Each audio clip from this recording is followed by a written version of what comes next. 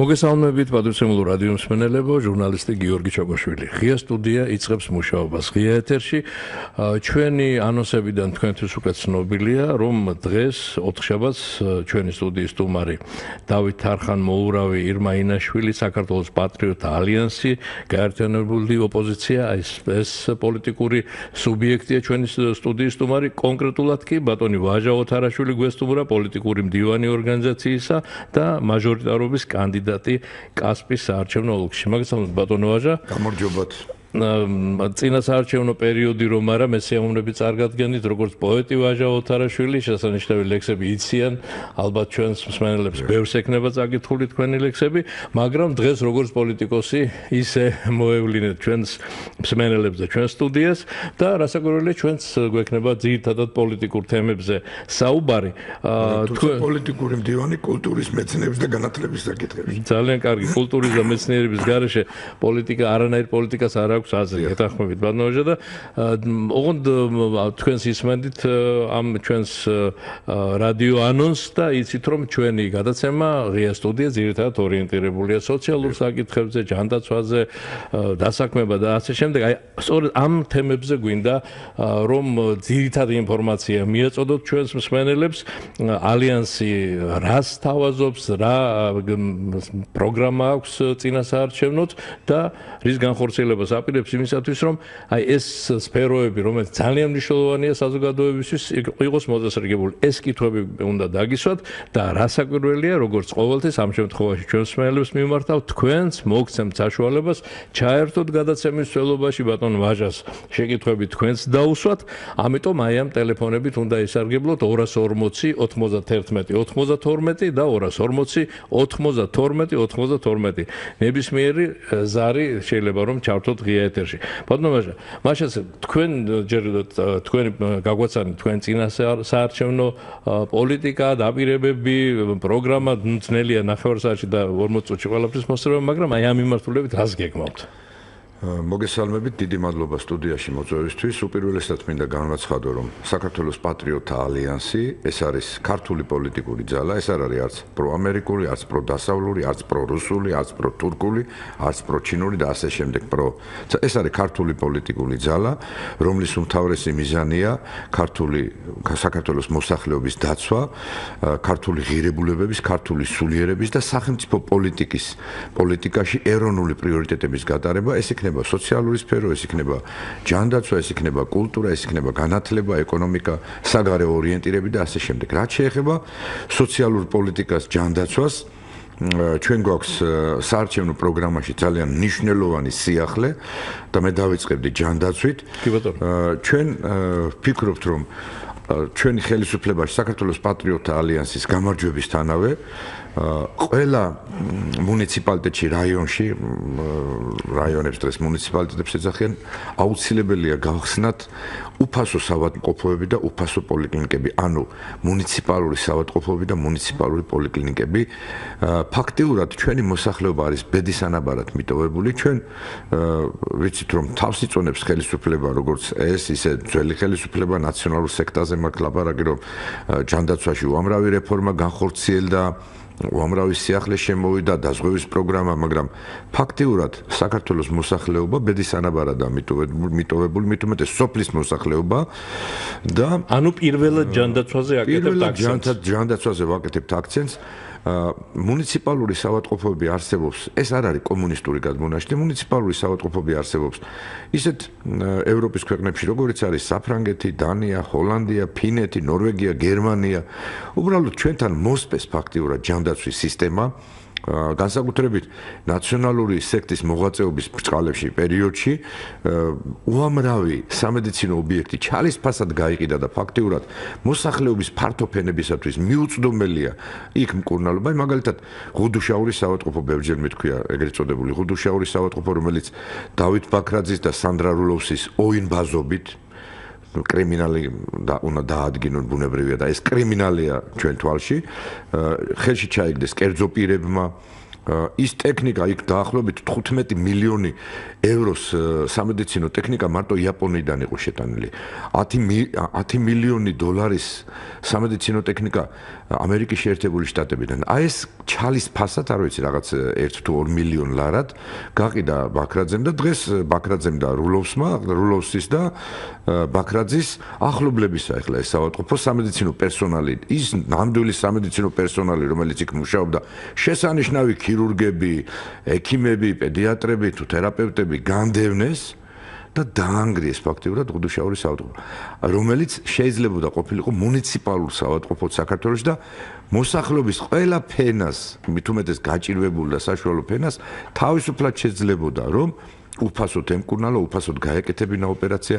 დღეს თავს ვიწონებთ იმით, რომ თითქოს დაზღვევის პროგრამა მუშაობს და ვთქვათ 70%-ს უნაზღაურებს სახელმწიფო ოპერაციას, მაგრამ აი, როდესაც ანგარიშობენ და ვთქვათ ამობენ რომ აი ოპერაცია ჯდება 10000 ლარი და ჩვენ 70%-ს გიფინანსებთ და 3000 ლარი უნდა გადაიხადოს მოქალაქემ სინამდვილეში ის 3000 ლარი ჯდება ოპერაცია, რომელსაც საქართველოს მოქალაქეს ახდენებენ. აი ესეთ მე ვიტყოდი კიდე ერთხელ გავიმეორებ ამ სიტყვას, ოიმბაზობასთან გვაქვს საქმე და მას არაფერი საერთო არ აქვს სამედიცინო რეფორმასთან.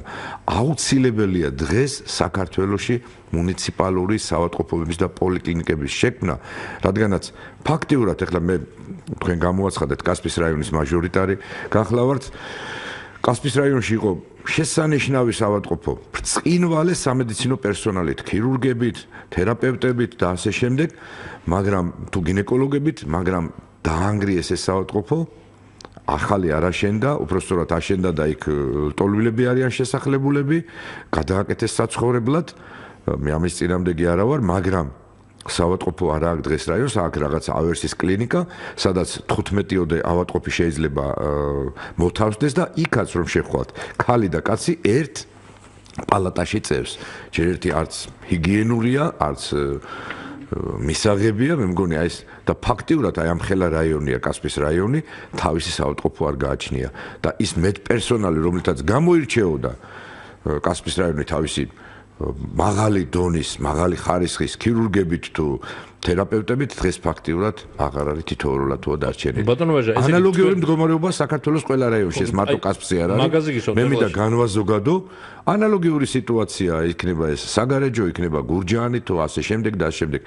თბილისში ჩვენ რაღაცა სამედიცინო ქალაქის ნაწილად ვაქციეთ დიღმის მასივი, მაგრამ არც ერთი საავადმყოფო არ არის კიდევ ერთხელ მეორე მუნიციპალური, სადაც შეიძლება ადამიანმა უფასოდ იმკურნალოს. აი ეს ინიციატივა შემოაქვს საქართველოს პატრიოტ ალიანსს. ბატონოჟა, გათვლილი, გათვლილი, ალბათ გაქვთ და ეგ მინდა უთხრათ ახლა თქვენ თუ შეიძლება უთხარით ჩვენებს, რომ მუნიციპალური ამდენი საავადმყოფო და პირველად ჯანდაცვა პოლიკლინიკებია მართლაც ძალიან მნიშვნელოვანია, რასაც თქვენ საუბრობთ, მაგრამ რა თანხებთან არის დაკავშირებული? ბიუჯეტი ასწევს ამდენს. თავისუფლად იმ იმ დაზღვევაზე ალბათ უარს ვერ ვიტყვით, იმიტომ რომ მართლა მისაღებია სადღაც ჩვენ არ ვართ წინამდე დაზღვევის სისტემის. ძალიან ძვირი უჯდება სახელმწიფოს და პლუს კიდევ ეს პირველადი ჯანდაცვა, რასაც თქვენ საუბრობთ, აი თანხებში გავთ კარგად გათვლილი. გეთანხმებით ჩვენ არა ვართ წინამდე დაზღვევის სისტემისა და დაზღვევის სისტემა ყველა უცხოეთის ქვეყანაში არსებობს და უნდა იყოს საქართველოსიც, მაგრამ მუნიციპალური საავადმყოფოების გახსნა აუცილებელია და რა თანხებით. მაგალითად, ყველაზე მარტივ მაგალითს გეტყვით, სააკაშვილის სექტის დროს 365 მილიონი ბიუჯეტიდან გადაერიცხა თანხა პარლამენტის შენობის ასაშენებლად. 365 მილიონად რომელიც არაფრისთვის არ იყო საჭირო. და წეგან ბაქრაძე ვახსენე, ბაქრაძე დასასჯელია მარტო იმიტომ, რომ ამაზე თანხმობა მისცა როგორც პარლამენტის თავმჯდომარე, რომ თანხმობა მისცა იმაზე, რომ პარლამენტის შენობა, უნიკალური შენობა რუსთაველის პროსპექტზე გერმანული გერმანელი არქიტექტორების და მაღალი დონის არქიტექტორების მიერ აშენებული, რომელიც მართლა შედევრია და შიგა ის ინტერიერი უძვირფასესი ხით მოწყობილი დააჩეხინა ვერანებინა და რომ არ შეცვლილიყო ხელისუფლება გაყიდიდნენ ისევე როგორც იმელის შენობა. რამდენი საავადმყოფოს აშენება და რამდენი საქართველოს მოქალაქის მკურნალობა შეიძლება უფასოდ 365 მილიონ ლარად აა ეხლა ამ ხელისუფლების პირობებში გადმოვიდეთ, გეტყვით მე რადგანაც ესე დამისვით საკითხი. კულტურის სამინისტრო მაგალითად 29 მილიონი ლარი არაფერში გადარიცხა თქვა რობი უილიამსის და სხვა უცხოელი მომღერლების ჩამოსაყვანა თბილისში, რომელიც ქართულ კულტურას არაფრით არ არგებს და არც არავის თვის ეს არ იყო რაღაცა ეს. ანუ აი ეს არის გადაყრილი ფულები. ეხლა მე მინდა გამოეხმაურო ასევე კვირიკაშვილის ბოლოდროინდელ განცხადება 60 მილიონი სტუდენტისა 60000 სტუდენტზე ქუთაისის מחულვალ სტუდენტური ქალაქის მშენებლობაზე. ესეც აბსურდია, იცით ხალხო. იმიტომ რომ თუ ჩვენ ამდენი თანხები გაგვაჩნია, რომ 60000 სტუდენტს ვასწავლოთ, უცხოელი ლექტორები ჩამოვიყვანოთ, რაღაც ახალი ტექნოლოგიების ინსტიტუტი ავაშენოთ, ავაშენოთ ახალი სასტუმროების საცხოვრებლები. მე მგონი კერძო დაფინანსებით გეთება. რითაც არ უნდა გაკეთდეს. რითაც არ უნდა გაკეთდეს. ა კერძო პირს ვერ დაავალდებოდი ბატონო, რომ გინდა თუ შენი თანხა. აიცით რა, ყველაფერი გამოსაკლევია. ყველაფერი გამოსაკლევია. თუ ამდენი თანხა გაგვაჩნია, დედა უნივერსიტეტი, ინგრევა ივანე ჯავახიშვილის უნივერსიტეტი, იმ ლექტორებისთვის ვერ მიუცია ნორმალური ხელფასი. ნორმალური ხელფასი ვერ მიუცია და სტუდენტები 150.000-ზე მეტ სტუდენტს სტუდენტის სტატუსი აქვს შეჩერებული იმისთვის, რომ იმის გამო რომ ვერ იხდიან გადასახადს. ამ ღარიბი ოჯახის შვილები, ბუნებრივია 2250 ლარიდან ვერ გადაიხდი. როცა არც დედა მუშაობს, არც მამა, არც თვითონ. მაშინ მივხედოთ ამ სტუდენტების კონტინგენტს. თუ ამდენი სპონსორი გაგვაჩნია. ის სპონსორიც რო შემოდის, მესმის თქვენი. ესე იგი, მას თავისი კერძო ინტერესი გააჩნია. ანუ არა სახელმწიფოებრივ დონეზე აზროვნება, არამედ კერძო ინტერესი. ანუ გამოდის რომ მას თავისი ბიზნეს ფულს დებს, იმას ყოველთვის ბიზნეს ინტერესი აქვს.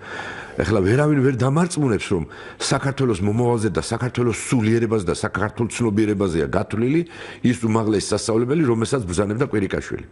მე ვერ დაგერწმუნებით, იმიტომ რომ დღეს პოლიტიკა, რასაც უყურებ, თქვა განათლების პოლიტიკა არის ანტიქართული. არ არის ეროვნულ ღირებულებებზე დაფუძნებული და ბუნებრივია რომ მე ეჭვი მეპარება როგორც თუნდაც რიგით მოქალაქეს და არა ამ შემთხვევაში როგორც პოლიტიკოს. მოდით ბატონოჟა რა კი ამ თემას შეეხეთ გითხარით თქვენი გაერთიანება თქვენი პატრიოტთა ალიანსი დაზგეგმავს ამ მიმართულებით თუნდაც განათლების ეროვნულობა როგორ გესახება და ეროვნული განათლება განათლების სისტემა როგორი არის თქვენი თქვენი ხედვით. კი ბატონო. როგორი უნდა იყოს? კარგით ბატონო, კარგით გეტყვით. აუცილებელია კულტურის და განათლების ძირეული რეფორმის ჩატარება. ძირეული რეფორმა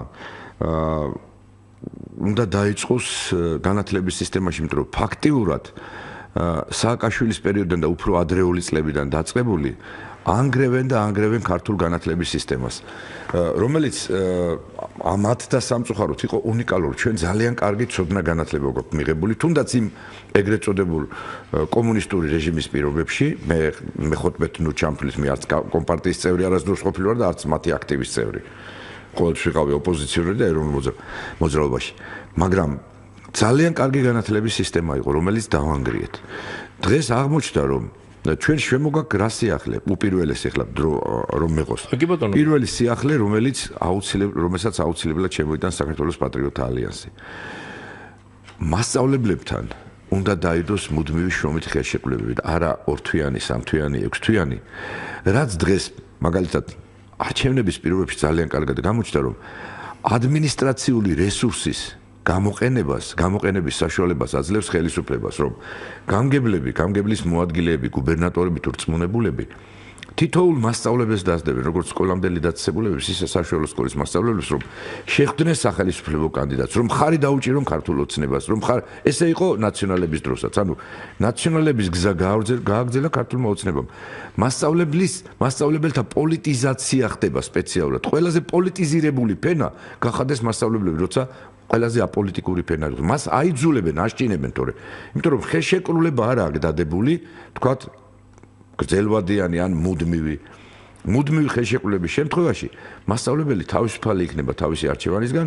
მას შეიძლება გინდა ქართული ოცნების დეპუტატობის კანდიდატი შეხვდეს გინდა ბურჟანაძე დემოკრატების გინდა პატრიოტთა ალიანსის გინდა ლეიბორისტების. თვითონ გააკეთებს არჩევანს და არა რესურს ცენტრის, კულტურის განყოფილების თუ გამგებლის თითის თითის ქნევის საფუძველზე. და ამავე დროს მასშტაბლებელთა უმეტესობით დააკომპლექტეს საარჩევნო კომისიები. რაც ესევე აი ნონსენსია, იცით? ჩვენ თუ გავათავისუფლებთ მასშტაბლებს და ამ სიტუაციიდან და მათ მუდმივ ხელშეკრულებას დაუდებთ, ისინი არ იქნებიან ესე აქტიურად ჩართულები და არ იქნებიან შიშის ქვეშ. მეორე, სერტიფიცირება უნდა მოიხსნას მასშტაბლებსა ყოველწლიური. აი ეს სერტიფიცირება კი არ უნდა იყოს მასშტაბლებს პედაგოგიკას უნდა ასწავლიდნენ უმაღლეს სასწავლებლებში. უნდა იყოს კვალიფიკაციის კურსები გადამზადებული. მაგრამ სერტიფიცირების დაშინება ჩვენ ფიქრობთ თვითონ უმაღლესებში განათლების სისტემის შეცვლას. პედაგოგი ის პედაგოგიკა რაც ისწავლებოდა და მთლიანად განათლების სამინისტრო რომელიც დღეს დაკომპლექტებულია არაკომპეტენტური კადრებით. ჩვენ ვხედავთ რომ ესე იგი სამთვიან საბუღალტრო კურსები დამთავრებული შეიძლება განათლების ministri გახადო. და აი ესეთ სიტუაციაში ministri გახადო პიროვნება, რომელსაც დაფაზე ერთ დაფასთან არ მდგარა, ერთი გაკვეთილი არ ჩაუტარებია. არიცის პედაგოგიკა, არიცის ურთიერთობა მოსწავლეებთან და შეიძლება გახადო ის ministri. შეიძლება გახადო ministri, რომელსაც რექტორი, რომელსაც ლექცია არ წაუკითხია. აი მუბედურებაში ვარ და ესე იგი პროფესიონალური პროფესიონალი კადრების შემოყვანა განათლების სისტემაში და ის რომ მეცნება და ტევადი ტექნოლოგიები სინამდვილეში რაც საჭიროა ის ვასწავლოთ ჩვენს მომავალ თაობას საქართველოს პატრიოტ ალიანს შემოაქვს ასევე სიახლე უმაღლეს განათლებაში სავალდებულო სამწლიანი უმაღლესი განათლება რადგანაც 21 საუკუნე დაიწყო და ფასიანი უმაღლესი განათლება. ეს არის დღეს შეუძლებელი, მწერან ვახსენეთ ჩვენ 150000-ზე მეტი სტუდენტი, რომელსაც სტუდენტის სტატუსი აქვს შეჩერებული. სავალდებულო სამწლიანი უმაღლესი განათლება, რომელსაც მოერევა ბიუჯეტი. ხოლო შემდგომ უკვე მაგისტრატურა თუ ასპირანტურა თუ დოქტორანტურა იყოს ფასიანი. აი ეს სამწლიანი უმაღლესი განათლება, რომელიც ზოგად უმაღლეს ცოდნას მისცემს ჩვენს მომავალ თაობას. ფაქტიურად სავალდებულოს ხდით ამ სავალდე რადგანაც დააკვირდით თქვენ სკოლებიდან სკოლებში ფაქტიურად არაფერს არ ასწავლიან. უმაღლეს სასწავლებლები არის ფასიანი, სადაც ლექტორმა რო დაუწეროს ორიანი სტუდენტს, შეიძლება ეს ჯგუფი თუ მასიური ორები და უარყოფით შეფასებები მოხდა, დაიხუროს, ანუ შემოსავალი ლექტორ შეუწყდეს, იმიტომ რომ და იძულებულია ლექტორი დაუწერო სტუდენტს ნიშანი და ფაქტიურად 100 სტუდენტიდან ჩვენთან 95 არ სწავლობს. აი ეს არის რეალობა. და ჩვენი სტუდენტები არ არიან კონკურენტუნარიანები საერთაშორისო განათლების ბაზარზე. ეს წუთის გაწყვეტილება მსმენელი გველოდება და ამის გამო ბატონოჟე მოვიცინოთ მისი კითხვა. ალო გისმენთ? ბოდიში ვიხდით ცოტა გასტევინეთ გისმენთ? არაფერია გამარჯობათ მივე გამარჯობა. გამარჯობა. მას კითხვა მაქვს თქვენ სტუმართან ძალიან მოკლედ. აა ბატონო ვაჟა მე მაინტერესებს საქართველოს ირღევა თუ არა რელიგიური უმცირესობების უფლებები კერძოდ მუსლიმური თემის უფლებები გაიხსენეთ ღორის თავი მოჭრილი მინარეთი და მათ აქვთ თუ არა უფლება თუ ამდენი ეკლესიების შენდება მათაც ააშენონ მეჩეთი ჩაოლებრივი სამლოცველო მადლობა. მადლობ ჩეკი დიდი მადლობა მე მიმაჩნია რომ საქართველოსი რელიგიურ უმცირესობა და უფლებები არ ირღვევა. ერთი კიდე გველოდება იმასაც მოვინიშნავ და მე რე უპასუხეთ ბატონო. გისმენთ ალო? გამარჯობათ ბატონო გოგი. გამარჯობა. გამარჯობათ ბატონო ვაჟაცა თქვენთან მაქვს ორი მოკლე შეკითხვა. ძანეთ. პირველი, ამ ბოლო ამერიკე ამერიკული დამოუკიდებელი ექსპერტის გამოკითხვის შედეგად თქვენთან შეიძლება ინფორმაცია რომ ოცნებას აქვს უკვე ჩამოშლილი სიტუაციაში 25% და თქვენ გაქვთ 16% და ნაციონალებს 12%. ასე თქვენ შეაძლოთ ნაციონალებს, მაგრამ გამოხდება იმ შემთხვევაში თუ 25%-იანი ოცნება რომელიც აკომპლექტებულია გამყალბებელი ნაციონალების და შევარდნადისტებით მოინდობენ იმას რომ არჩევნებზე მათ მოინდომონ 50+1-ან 5% და თქვენ დაგწოვონ ან 16 ან პროცენტში ან 20%-ში აქთან გამომდინარე. რასთან შეიძლება გქონდეთ საქმე თქვენი მხრიდან და მეორე. ნინო ბურჯანაძე იძახის რომ მე ვარ ერთადერთი პარტია რომელიც ვიბრძოლებს სააკაშვილთა ნაციონალიზმის ნაციონალისტების სისტემიდან მაქსიმალურად ამოძირკვასთან დაკავშირებით. ამ დროს ქარხან მოურავი იძახის რომ მარტო ჩვენ ვიბრძითო ნაციონალების ამოსაძირკვათო და იქნებ შეაჯეროთ სიტუაცია პოზიციები და სიტუაციები, იმიტომ რომ ორი პიროვნება ხართ, რომელიც იბრძვით ერთსაც აქვს საფაბი და მეორესაც რომ არ გამოგივიდეთ თავის ხებათ უბრალოდ რომ თვითონ მარტო თქვენ ახართ ან მარტო ნინო ბურჯანაძე. მადლობა, მადლობა შეკითხვებისთვის. თუ შეიძლება ჯერ რელიგიურზე არ და მე მიმაჩნია რომ მე მიმაჩნია რომ საქართველოსი არასდროს არ ირღვეოდა რელიგიური უფლებები, ახლა ეს რამან რაც მოყვა ის არის ყურით მოთრეული ფაქტი, მე გეტყვით რომ პირიქით ქართველიერის უფლებები ირღვევა და რამის ქართველიერი ეროვნულ უმცირებացობაში მოხდეს. და მე გეტყოდით რომ ქართველი ქართული სკოლების გახსნა ეს იქნება ჰერეთი ჩვენი ისტორიული იგივე თურქეთი დიდი პრობლემის წინაშე დგას მე არაერთხელ მithქვია რომ ისტორიული ძეგლებიც კი ტაოკლარჯეთისა ხანთის და შატბერდი თუ პარხალი თუ დოლისყანა თუ სხვა არტანუჯი თუ სხვა ვერ შეძლეს სახელმწიფო დონეზე გადაწყვეტილიყო ეს საკითხი, რომ აღედგინათ ჩვენს რესტავრატორებს, ჩვენი ისტორიკოსები, ჩვენი სასულიერო პირები, ჩვენი არქეოლოგები, ჩვენი მეცნიერები ჩასულიყვნენ იქ და მე ვფიქრობ, რომ ქართველების უფლებები ირღვევა თელ მსოფლიოში, განსაკუთრებით მუსულმანურ ქვეყნებში და საქართველოში არასდროს არ ყოფილა შეზღუდული არავინ და ეს ეს კითხვა, ეს პროვოკაციული კითხვა დაკვეთით იყო შემოგდებული ალბათ რომელიმე ნაციონალური სექტის რომელიმე დაჯგუფების მიერ. რაც შეეხება რაც შეეხება ახლა იმ კითხვას რომ აი 25% და 16% და ეს რომელიც ამერიკელების გამოკლების და რომ რომ რომ ვერ მიიღოთო თქვენ ამდენი ან კით გახსოვთ კითხვა. დიახ, ესე იგი, ჩვენ ვფიქრობთ რომ გვაქვს 16%-ზე მეტი მოსახლეობის მხარდაჭერა ჩვენდამი არის მასიური.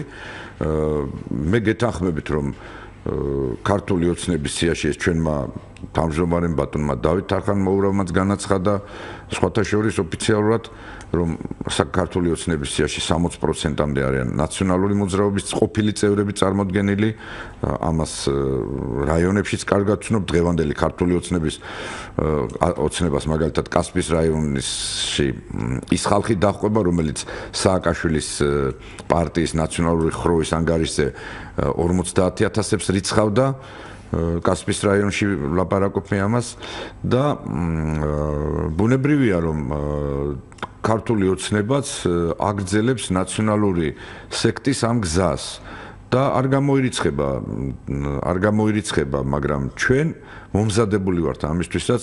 მოგეხსენებათ რომ 1 ოქტომბერს ბათუმში ერას მოედანზე ჩატარდება ძალიან დიდი მიტინგი საქართველოს პატრიოტთა ალიანსის ინიციატივით იქ საქართველოს პატრიოტთა ალიანსის ლიდერები ბატონი დავით თარხანმოურავი, კალბატონი ირმაინაშვილი და სხვა ლიდერები გამოვალთ და რატომ ბათუმში ესეც გითხარით? ბათუმში გადის დღეს ფრონტის ხაზი. ეს შემთხვევით არ გვითქვია ჩვენ. მოგეხსენებათ ის აქცია, რომელიც სარფში ჩატარდა ნაციონალისტური ორგანიზაციის რუხიმგლების მიერ. და ასევე ბათუმშის ფაქტი, რომ ბათუმის ცენტრში ქართული საქართველოს ხელისუფლების დაუკითხავთ აშენდა და ფუნქციონირებს თურქული სკოლა. ეს არის საქართველოს თავრობის დღევანდელი ხელისუფლების უნიათობის და კაპიტულანტური პოლიტიკის შედეგი. ჩვენ ხედავთ რომ თურქეთი ნელ-ნელა სხვადასხვა სფეროში იპყრობს საქართველოს. დღეს არ არის საჭირო მოკაკული ხმლებით და ყიჟინით ან რა ქვია ჩალმებით შემოვარდნა და ეს რა ქვია საქართველოს ქართული საქართველოს მეფო ქართლში მეფობის გაუქმება ან საყდრების ნგრევა იგივე პროცესი მიმდინარეობს აგერ პლეხანოვზე ბატონო ბარდელებია გახსნილი და თურქული ბარები, სადაც შეურაცხყოფას აყენებენ ქართველ ქალებს, გოგონებს და ყველას თვალწინა უპატიურებენ და ამაზე ხელისუფლება არ იღებს ხმას და საზოგადოება გაჩუმებულია და ეს იმის ბრალია, რომ არ არის ეროვნული идеოლოგია ქვეყანაში, არ არის ქართული პოლიტიკა, ასეთს ვერ გაბედავენ. ვერც სასომხეთში და ვერც სხვაგან, ვერც აზერბაიჯანში თურქები. ეს არის იმის ბრალი, რომ ჩვენთან არ არის ქართული პოლიტიკა, უფრო სწორად ანტიქართული პოლიტიკა, რომელიც დანერგა ნაძირალა სააკაშვილმა, როდესაც ორჯერ გაათხოვა დედამისი თურქზე, როდესაც 1000-ზე მეტი ინგლისურის მასწავლებელი შემოყავდა, როდესაც 30000-ზე მეტ თურქს ერთ დღეში მისცა რამდენიმე ხანში მისცა საქართველოს მოქალაქეობა, როცა გაუხსნა ყველა თურქ ბიზნესმენს გზა, როდესაც ქართველი კაცი, იგივე აჭარა ვახსენეთ, თავის მამაპაპეულ მიწაწყალს ვერ იკანონებს. იგივეა ქართლში, კასპის რაიონში. ხალხი დადის დღეები, თვეები, წლობით რეესტრში და მამაპაპეულ მიწას თუნდაც 13 მიასეც ვერ იკანონებს. როცა ქართველ გლეხს, ქართველ კაცს თავისი მამაპაპეული სახლის გადაფორმება 300-დან 500 ლარამდე უჯდება. როდესაც ქართლში თხოთის მთაზე ისტორიულ ტერიტორიაზე წმინდანინოს ძეგლის ეკლესიის გარშემო იმ მისტერიულ ადგილზე, სადაც მირიან მეფეს დაუბნელდა და მაცხოვარი იხილა და ვაღიარებ უფალსა რომაელთა წარმოთქვა გარშემო აგერ 105 ჰექტარი არაბებს მიწეს. ლამისყანის და ოკმის თავზე, შავტყის ტერიტორია ზედაველებზე არაბული სოფელი შენდება. აი ეს არის ის რომ ეროვნული იდეოლოგია არ არსებობს, ამაზე ხმას არ იღებს ხელისუფლება და აგერ აგვიშენეს თურქული სკოლა, სადაც არა საქართველოს კანონმდებლობის მიხედვით, არამედ თურქული კანონმდებლობის მიხედვით ასწავლიან ბავშვებს. აი ამ ფაქტის წინაშე. იგივეს გაგიკეთებენ ხვალზე თბილისში. და ეს არის ხელისუფლების ბრალი.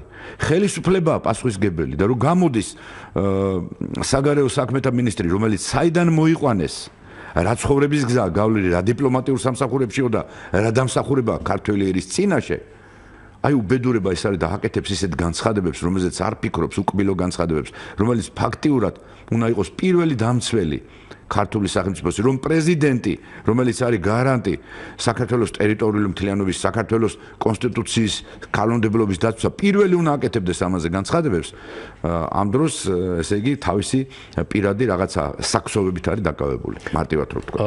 ბატონი ვაჟა ოთარაშვილია ჩვენი სტუდიის სტუმარი პატრიოტ ალიანსის პოლიტიკური მდივანი მაჟორიტარობის კანდიდატი კასპის საარჩევნო ოლქში. ბატონო ვაჟა რაც საკვირველია არც ხელისუფლების და არც არავის კრიტიკა თქვენ არ დაგიშლით არავინ ჩვენს პირდაპირ ეთერში, მაგრამ უფრო მნიშვნელოვანია კიდევ ერთხელ ვიმეორებ, აი თქვენეული ხედვა, თქვენ გასაგებია ამ კრიტიკის ფონზე ისიც გასაგებია თქვენ რატომ აკრიტიკებთ და რისი გაკეთება გინდა? ეხლა რისი გაკეთება გინდა იმასაც ვეთქვი. მაბადეთ, არა, ჯერ ნუ დაგვავიწყდე მსმენელის შეკითხვა, რატომ არ ერთიანდებით ბურჯანაძესთან ერთად თუ ნაციონალების წინააღმდეგო ასეთი კითხვა იყო? გასაგებია. გასოთ ხო ეს შეკითხვა? გასაგებია საქართველოს პატრიოტთა ალიანსის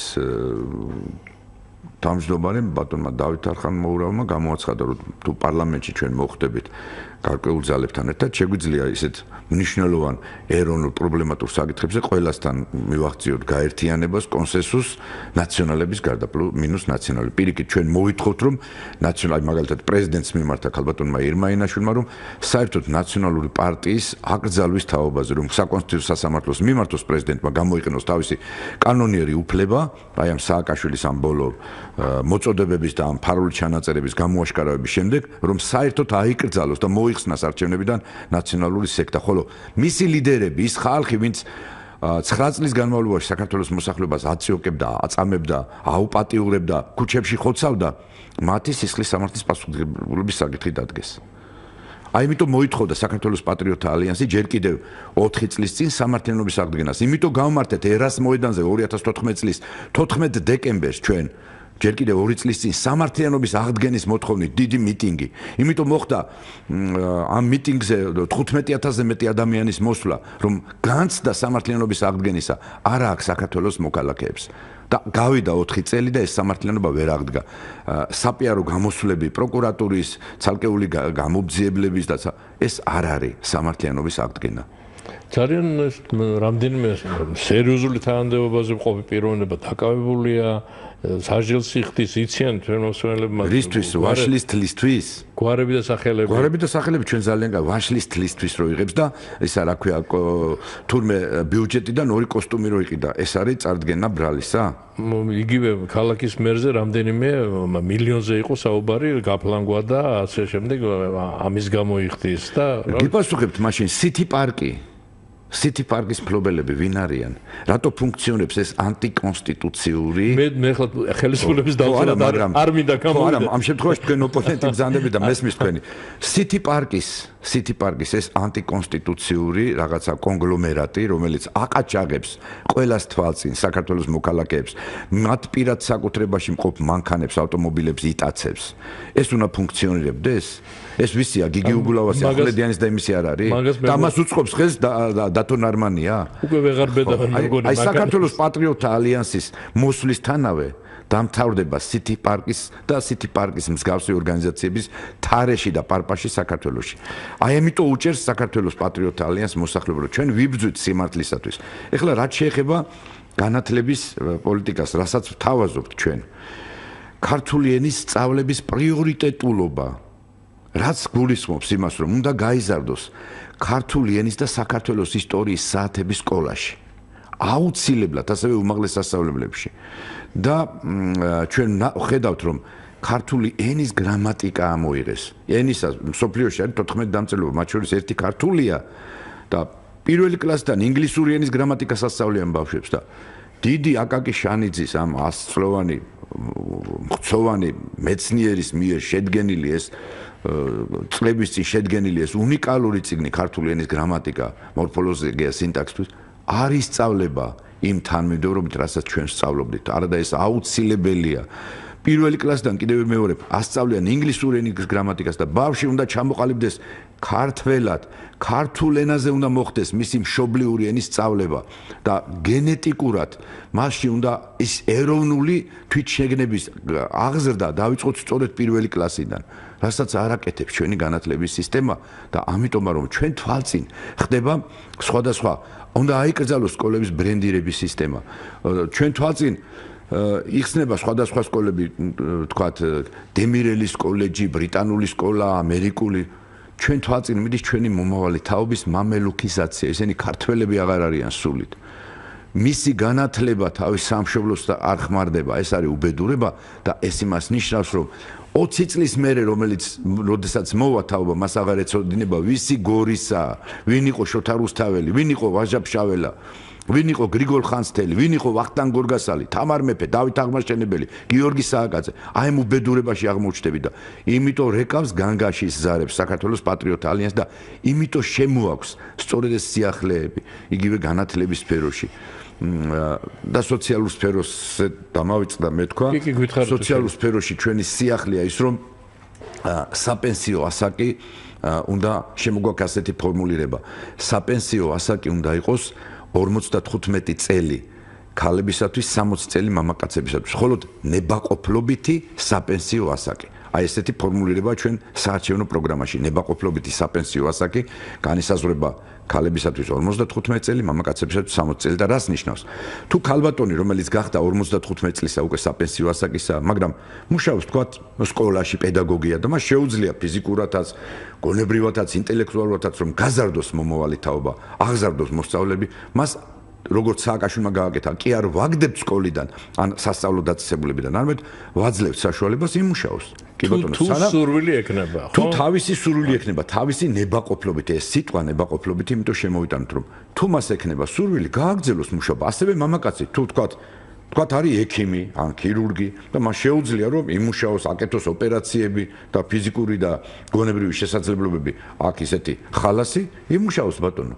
თავისი ნებაყოფლები თავის სურვილის მიხედვით. ბატონო, კიდევ ერთი ოპონირების მომენტი შემოდის ამ შემთხვევაში, მე მინდა ასეთი კითხვა დაგისვათ ამასთან დაკავშირებით. ევროპის ბევრ ქვეყანაში იყო მცდელობა, რომ საპენსიო ასაკი გაეზარდათ 70 წლამდე მამაკაცების და 65-მდე ქალების. ეს იმიტომ, რომ ამ ძლიერი და განვითარებული, მათ შორის იტალია, ქვეყნების ბიუჯეტი ვერ წდება პენსიის ანაზღაურებას. გამიგე და თქვენ რომ უკან წერთ ამ ასაკს ბიუჯეტი გაუძლებს ეს გაუთ გათვლილი? გვაქვს ეს გათვლილი, სხვათაშორის კიდევ ერთხელ მეორებ, ძალიან ბევრი ხარჯი საქართველოს დღევანდელ ბიუჯეტში არის გაბერილი და გაწერილი ისეთნაირად აი წერან რამდენიმე მაგალითი გითხარით იგივე 365 მილიონის მაგალითი იგივე 29 მილიონის მაგალითი იგივე ის პრემიები რომელსაც ახლა დანამატებს უწოდებს დღევანდელი ხელისუფლება და ეს დანამატები სხვათა შორის 20000, 30000, ზოგჯერ 50000 ლარს აღემატება. თქვენი ministrები იტყვიან უარს. რა თქმა უნდა, რა თქმა უნდა, რა თქმა უნდა, იმიტომ რომ არ უნდა იყოს ესეთი დიდი განსხვავება სამთავრობო, საპარლამენტო ხელფასებსა და პენსიებს და ჩვეულებრივ ხელფასებს შორის, იმიტომ რომ ეს გამოდის დიფერენციაცია მოსახლეობის. ეს არის ანტიკონსტიტუციური ქმედება. ანუ ჩვენ ჩვენ მოსახლეობას რომელმაც ჩვენ აგვირჩია ვაყენებთ დაკნინებულ მდგომარეობაში ეკონომიურად უკვე წინ და წინ და მეორეც ერთი სიახლე რომელიც აი ამ მომენტში შემოაქვს საქართველოს პატრიოტთა ალიანს ის რომ ჩვენ არჩევის შემთხვევაში იქნება ორგანო რომელიც რომლის საშუალებითაც ნებისმიერი დეპუტატის, ნებისმიერი პარლამენტის წევრის, ნებისმიერი ministris უკან გამოწვევის მექანიზმი შემოგვაქვს, იმპიჩმენტის მექანიზმი. ძალიან ბევრი ჩვენი სტუმარი ამის წინააღმდეგი იყო პოლიტიკოსი და აი თქვენ ხართ ერთადერთი ადამიანი, ვინც ამ ბევრი გვირეკავს ჩვენ მსმენელებს და უნდა გქონდესო გაწვევის უფლება. აუცილებლად ჩვენ შემოგვაქვს. თქვენ მომხრე ხარ? კი, ჩვენ მომხრე ვართ ბატონმა დავით არხანმოურავმა ირმაინაშვილმა არაერთხელი საუბრა ამის თაობაზე, უნდა იყოს სპეციალური ორგანო, რომელსაც იმპიჩმენტის დეპუტატის და ministris და სხვა დიდი მაღალი თანამდებობის პირების გაწვევის მექანიზმი, რომ თუ ერთი წლის განმავლობაში ვერ შეასრულა თავისი დაპირება. აი ეგ როგორ განისაზღვრება, რომ თუ შეასრულა თუ ვერ შეასრულა? თუ ამომრჩეველთა, არა, ამომრჩეველთა 30% თუ დააყენებს საკითხს, რომ 30% თუ დააყენებს საკითხს, რომ დადგეს დეპუტატის გაწვევის საკითხი. ანუ ხელმოწერები მოშეკრება და პლუს გაინიშნება ვადა თქვათ ორთვიანი ვადა სადაც უნდა შეგროვდეს ხელმოწერები 50% პლუს 1 დეპუტატი ავტომატურად ბევრი ჩვენი მსმენელის გული მოიგეთ მაგით ბატონო არა ეს პროგრამაში წერია. პროგრამაში წერია. იმიტომ რომ იმპერატიული მანდატით სარგებლობს დეპუტატი თუ ministri 4 წელი აირჩევენ მერე წამოწება ის კაკლის ჭდილში ისე ხატოვნად რომ თქვათ და არ აინტერესებს ამომრჩეველი არ აინტერესებს და აი მაგალითად კასპის რაიონის მაჟორიტარი დეპუტატი ეს ვინც ყავდათ ახლა არ იცნობს მოსახლეობა. ისე როგორც აი ახლა ატარებენ ორი თვის წინ მოიყვანეს რომ აი გააცნო ხალხს აირჩიეთ ეს მე აირჩევენ ის წავა 4 წელი დაიკარგება და საწყალი კასპის რაიონის ხალხი არის ამ უბედურებაში ჩავარდნილი. მე იქ დაბადებული გაზრდილი ვარ ჩემი მშობლების საფლავი არის ჩემი წინაპრების. და თუ მე ვერ გავამართლე, უნდა გქონდეს ჩემ მომრჩეველს უფლება, რომ უკან გამიწვიოს და აიჩიოს ის, რომელიც გაამართლებს. ეს ეხება ministrსაც, ეს ეხება დეპუტატსაც, ეს ეხება პრეზიდენტსაც და პრემიერსაც. თუ გვეწურება, იქნება რამდენიმე სიტყვა გითხრათ თქვენ წინასაარჩევნო პროგრამაში დასაქმებასთან დაკავშირებით რა არის ჩადებული? ჩვენ ჩვენი პარტია, საქართველოს პატრიოტთა ალიანსი მომხრია ევროკავშირთან ურთიერთობისა. მაგრამ ჩვენ ევროკავშირის ასოცირებული წევრები ვართ და რა თქმა ჩვენ ევროპისაგან გვინდა უპირველესად ტექნოლოგიები, ტექნოლოგიური ხაზები რომ გავხსნათ სამუშაოები აქ, სამუშაო ადგილები შევქნათ, წარმოებები გავხსნათ. ჩვენ მომხრეები ვართ რომ რაც შეიძლება ისის განმარტებული როგორ აპირებთ ამ გახსნას? ბატონო სახელმწიფო უნდა გახსნას? აი სახელმწიფო საწარმოები იქნება თუ როგორ? კი გეტყვით დაახლოებით ჩვენ მივდივართ მოკლედ რომ ვთქვათ მარშალის გეგმა იცით თქვენ კი მარშალის გეგმა ცნობილი გეგმა აი მარშალის გეგმის მიხედვით უნდა მოხდეს საქართველოს გადაიარაღება და ეკონომიური წინსვლა ეს ცნობილი გეგმა, რომლითაც ევროპაც აღორძინდა, აღორძინდა იგივე თურქეთი, ჩვენი მეზობელი და პარტნიორი და აი ამ გეგმის მიხედვით უნდა მოხდეს საქართველოსი აბსოლუტურად საწარმოების გახსნა, სოფლად კოოპერაციების შექმნა, კოოპერაციული მეურნეობების შექმნა, სოფლის მეურნეობის პროდუქტების გადამუშავება და კიდე მინდა მოვასწრო აუცილებლად საქართველოს პატრიოტთა ალიანსი ხელისუფლებაში მოსვლისთანავე შეცვლის საბაჟო კანონმდებლობას და ის სოფლის მეურნეობის პროდუქტები, რომელსაც აწარმოებს ქართველი გლეხი, თქვათ, ხახვი იქნება, ნიორი იქნება, ლობიო იქნება, კარტოფილი იქნება, რომელიც შემოდის უცხოეთიდან, განსაკუთრებით თურქეთიდან პესტიციდებით დასნევანებული, შხამქიმიკატებით გაჯერებული და ჩვენ გლეხურ მეურნეობებს და ფერმერულ მეურნეობებს უწევს კონკურენციას შეიზღუდება, მოხდება მისი გამბაჟება, ხოლო ქართველი გლეხი დაუბრუნდება ქართულ ბაზარს და ის გადასაყრელი ნაგავი პროდუქცია, რომელიც უცხოეთიდან შემოდის და რომელიც სწავლავს, სწავლავს საქართველოს მოქალაქეებს, ის კი აღარ იქნება, არამედ იქნება ეკოლოგიურად ჩვენი სოფლებიდან შეტანილი პროდუქცია, რომ დეზერტირების ბაზარში არ იქნება თურქული ტრაილერების ჭენაობა კი არ იქნება, არამედ ქართველი გლეხი გორის რაიონიდან, ქარელის თუ ჩხოროწყუს რაიონიდან ჩამოიტანს თავის სუფთად მოყვანილ პროდუქციას და მასზე იქნება ქართული ბაზარი. ანუ პროტექციონისტურ პოლიტიკას აპირებს აუცილებლად, აუცილებლად რომ ამოიქაჩოს ჩვენი ეროვნული სოფლის მეურნეობაც, ეროვნული მრეწველობაც და ეს ყველაფერი მოგცემს იმის საშუალებას, რომ ახალი სამუშაო ადგილები შეიქმნას.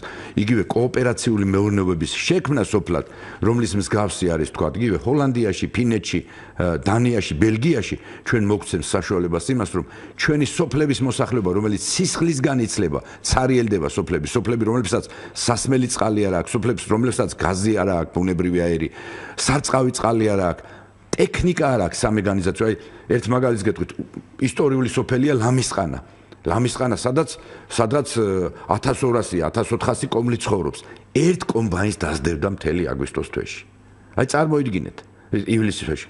ერთ კომბაინს ეს სამხელა სოფელი და აი ესე დღეშია საქართველოს ყველა სოფელი ჩავარდნილი ტრაქტორი არ არის კომბაინი არ არის და ეს საშუალებები არ არის რომ გლეხმა ეს მინდვრები დაამუშავოს. ანუ სოფელთან დაკავშირებით ნუ დღეს არ გვისაუბრია ამაზე ცალკე გაქვთ რა თქმა უნდა ცალკე პროგრამაა ეს ჩვენთვის და ამავე დროს მინდა აღნიშნო რომ სოფლებში ჯანდაცვა აი ჯანდაცვაზე საუბრობდით. დიახ. სოფლების უმრავლესობაში ჯანდაცვის პუნქტები არ არსებობს. აი თქვათ ისეთი ისტორიული სოფელი როგორც არის ერთაწმინდა. ჯანდაცვის პუნქტი არ აქვს. აი თეზი, სოფელი თეზი თბილისთან სადღაც 40 კილომეტრზე. ჯანდაცვის პუნქტი არა აქვს, სოფელი კოდის წყარო. ანუ აი პუნქტი ვინ უნდა იყოს, ჰექტარი? ექიმი და ექთანი რომ ელემენტარულად ადამიანი მივიდეს წნევა გაიზომოს, ზოგს დიაბეტი აქვს, ზოგს ჰიპერტონია ჭირს, ზოგს გული აწუხებს. არ არის. არ არსებობს იცით სამედიცინო პუნქტები და პლუს ამისა რაიონებში კიდე ის სავატყოფოთა სისტემა მოშლილია რომელიც ადრე არსებობდა. ერთადერთი თუ თბილისში შეძლებენ წამოყვანას და აქაც ისეთი ფასები აქვს. ოპერაციას მკურნალობას წამლებს ანალიზებს გამოკვლევას რომ უბრალო მოსახლეობა ამას ძალიან ძნელად თუ გასაგებ დრო გვეწურება თან თან ბატონოჟა 1-2 წუთით ისე მინდა ისე მინდა კი არა მინდა დაგაბრუნოთ პოეზიაში დიახ თქვენ ჩვენ მოსვენებმა ალბათ იციან წაკითხულია თქვენი ლექსები ალბათ ტელევიზიაში გადაცემას მიყავთ აუნახავს ალბათ ბევრ ჩვენ ჩვენს მენას თქვენი გადაცემა ერთ-ერთი ლექსში თქვენ ამბობთ შესანიშნავი ლექსია იმაზე ცოტა მეტი ვარო და იმ ლექსში მიმართავთ მტერსაც მოყარესაც ქალსაც შესანიშნავი ლექსია და ეხლა პერიფრაზი რო გავაკეთოთ აი ამომრჩეველს რით ამეტებ თავს რით ახათ მეტი რო რა თქმა უნდა აგირჩიო როგორ როგორ გასაზრული აა იმ თქვენი პოეტური მე პირიქით ამ ლექსით მე მტერს მიმართავ და არა მოყარეს. რატო ქალბატონებსაც ხომ მიმართავ? ქალბატონებს, ქალბატონებს ეფერები კი სიყვარულით ვეფერები, სიყვარულით ვეფერები და ჩემ აღმატებულ სიყვარულზე ვესაუბრებით, ხო? კი ბატონო. ამორჩევლებს, ამორჩევლებს მიმართავ რომ ალბათ ყველა დეპუტატმა უნდა იზრუნოს რომ იყოს რომ ამორჩევლის თვალში სიმდაბლითა სიმაღლე მოიპოვოს. ანუ იყოს თავდაბალი თავისი ამომრჩევლების მიმართ და მე ვიქნები ყველა ჩემი კასპელის, ჩემი კასპის რაიონის ცხოვრებლის ერთგული დამცველი, თავდაბალი დამცველი საქართველოს პარლამენტში, საქართველოს მთავრობაში და ყველგან სადაც მას დასჭირდებათ ჩემი დახმარება. დრო პრაქტიკულად არ დაგვჭა, მაგრამ სმენელი გველოდება თურმე და ერთი წუთი უნდა მივიცემ სმენელს. ალო გისმენთ, მხოლოდ ერთი წუთი გაქვთ თუ შეიძლება ბატონო ოჯახთან. რა შეკითხვა გაქვთ, რომ უასწროს მანას პასუხი. ალო, გამარჯობა ბატონო გოგი. გამარჯობა. მივესალმები თქვენს უმარს. მოკლედ თუ შეიძლება გისმენ. ძველი ქართველი ეროვნული კაცია ვაჟა ოთორაშვილი და გოუმაჯოს ღმერთმა. აჰა. მე ცხალტუბოს რაიონიდან ვრეკავ, ცხალტუბოს რაიონიდან და ვინ არის ცხალტუბოს რაიონში? პატრიოტა ალიანსიდან ვინ იყრის? კენც რო ხმა მივცე მარტო პატრიოტა ალიანს დანარჩენს არა. გასაგებია, მადლობა. გავიგეთ. დიდი მადლობა, დიდი მადლობა. მე გვარი არ მახსოვს წყალტუბოს რაიონში. უღრმესი მადლობა თბილისის სიტყვებისთვის. რვიანი შემოხაზეთ. რვიანი შემოხაზეთ. რვაში რვიანი შემოხაზეთ. მე არ მახსოვს ყველა რაიონის მაჟორიტარი დეპუტატობის კანდიდატების გვარების სამწუხაროდ. ბოდის მოვითხოვ, მაგრამ რვიანი შემოხაზეთ.